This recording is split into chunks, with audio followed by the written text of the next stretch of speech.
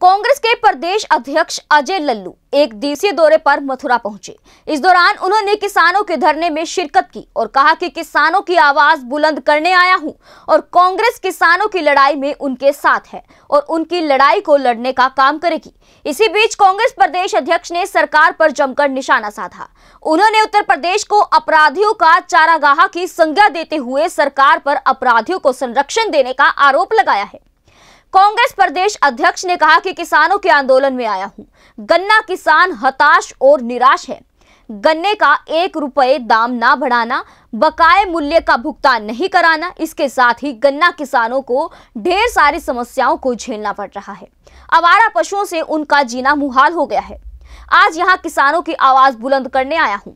Congress party किसानों के साथ है और उनकी लड़ाई लड़ने का काम करेगी। दिल्ली के शाहीन बाग में महिलाओं के धरने के सवाल पर कांग्रेस प्रदेश अध्यक्ष ने कहा कि यह सरकार दमन की राजनीति कर रही है। ना छात्रों की आवाज़ सुनना चाहती है और ना ही महिलाओं की।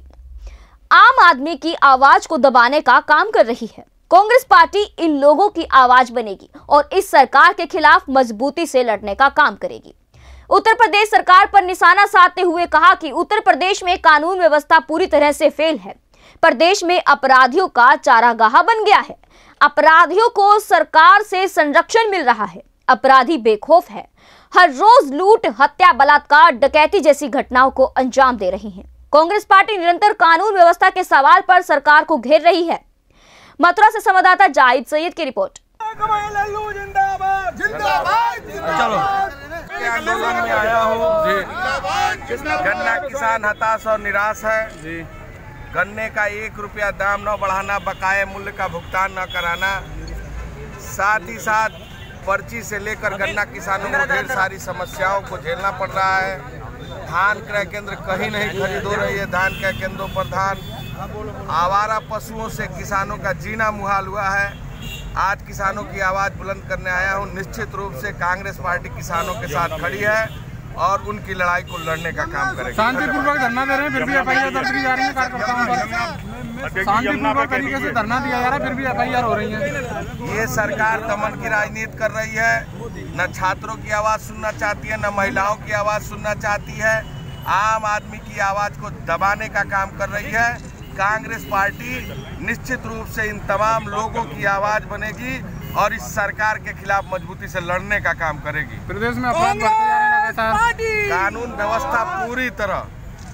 आज इस प्रदेश में अपराधियों का चारागाह बना हुआ है। अपराधी बेखौफ रोज हत्या लूट की घटनाओं को अंजाम दे रहे हैं। सरकार इन अपराधियों को संरक्षण दे रही है। कानून व्यवस्था पूरी तरह उत्तर प्रदेश में फेल है। निरंतर कांग्रेस पार्टी कानून व्यवस्था के सवाल पर सरकार को घेरने का काम कर रही है। और सशक्त विपक्ष के रूप में इस सरकार के चूल्हों को हिलाने का काम कांग्रेस पार्टी करेगी JBD Banquets लाए हैं Incredible Marriage Palace Rajgharana and the finest banquet hall Jyoti Garden. World class catering, centrally air conditioned, lush green lawns, state of the art lighting. A perfect venue for wedding, launching and parties. Rajgharana and Jyoti Garden at JBD Banquets Enterprise. ऐसे ही latest खबरें पाने के लिए bell icon को click कर हमारे channel को like share and subscribe करें। धन्यवाद।